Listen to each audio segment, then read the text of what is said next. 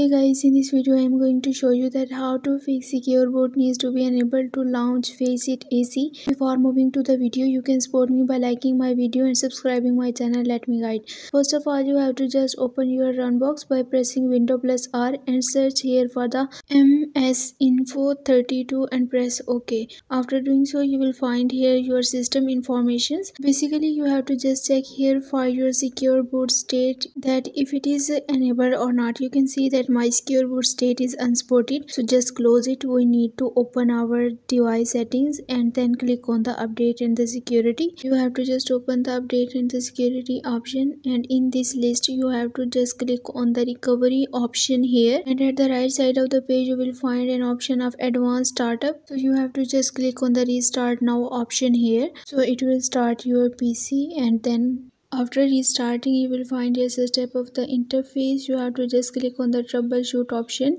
and then click on the advanced options and then click on UEFI firmware settings. After doing so you have to just click on the restart option here like this and then you will find a step of the interface. Restarting and you can see that your secure boot has been enabled and now you have to just click on the exit setup option and then click on the yes.